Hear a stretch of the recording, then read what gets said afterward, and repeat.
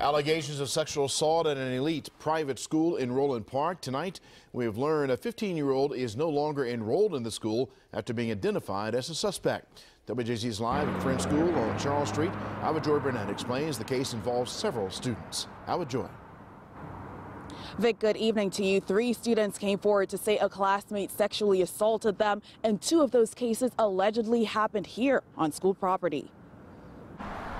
It's a prestigious private school in Baltimore's Roland Park, but on Tuesday, the focus shifted as police confirmed an unfolding investigation here at Friends School. This after three students came forward and said they'd been sexually assaulted by another student. Police say the suspect is 15 years old. Two of the assaults reportedly happened on campus and a third off school property. Police say all three victims are also 15 years old. None of the parties involved have been identified. WJZ has also heard from the state's attorney's office and they confirmed the juvenile suspect is now in custody.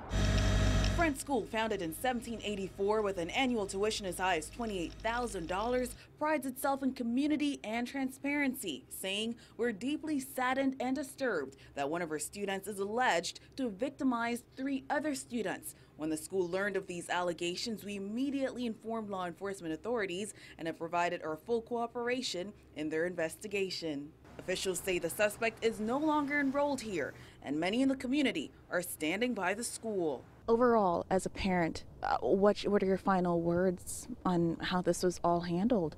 Of course, no parent wants to think that their children are faced with really complex and scary situations like this. Um, but I'm very, very pleased, and it's confirmed my commitment to the school.